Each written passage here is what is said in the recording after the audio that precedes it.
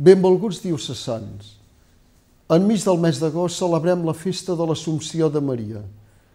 Aquesta festa, viscuda popularment en molts dels nostres pobles i ciutats, és com una onada d'aire fresc, com un oreig d'alegria i d'esperança per les nostres vides i pel nostre propi futur.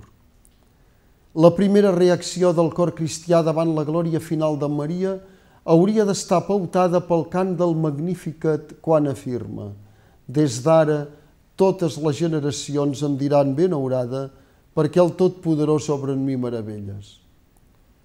Felicitar la mare és el primer impuls de tot fill ben nascut, perquè Déu ha obrat meravelles en Maria, des de la seva concepció fins a l'Assumpció, passant per la seva maternitat divina.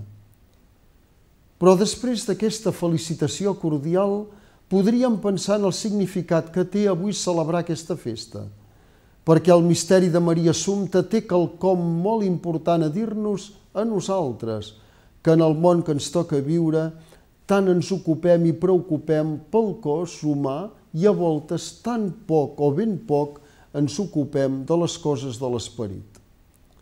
Hem de dir en primer lloc que la fe cristiana en la resurrecció no suposa el cultiu del cos per part de la societat actual, sinó que més aviat el supera perquè la civilització d'avui acaba el seu culte al cos en l'esport, el plaer i la bellesa anatòmica. Però la fe cristiana estén el seu interès corporal més enllà de l'exterior de la carn jove dels mites o dels anuncis de la societat de consum. La fe cristiana comença per la glorificació del cos humà ja durant el temps, convertint el qui es bateja en temple de l'Esperit Sant, alimentant el cos dels creients amb el cos i la sang de Crist, transformant la unió de l'home i la dona en un sagrament de la mort de Déu o consagrant amb la unció final el cos trossejat o envellit dels cristians. I tot això té lloc ja en aquest món, com a pròleg de la glorificació final després del pas de la mort, a la que juntament amb el seu fill, Jesús, ha arribat ja Maria.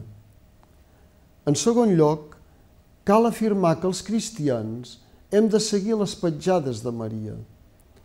Ella meresqué la glorificació del seu cos perquè, a més de la seva fe extraordinària, fou un model excepcional de mare i de verge.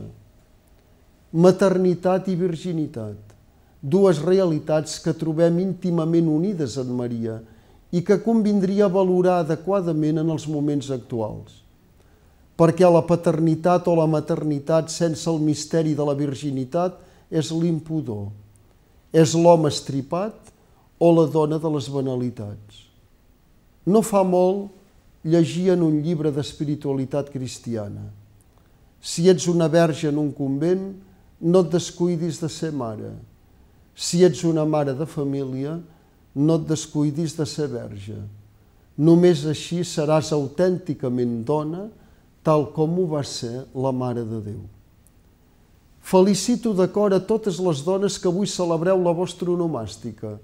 Felicito també de cor les parròquies que celebreu la festa de l'Assumpció. Felicito de cor a tot el poble sant de Déu perquè tenim en Maria el nostre model i exemple. Allà on ell ha arribat, també nosaltres tenim l'esperança d'arribar-hi. Adéu-siau.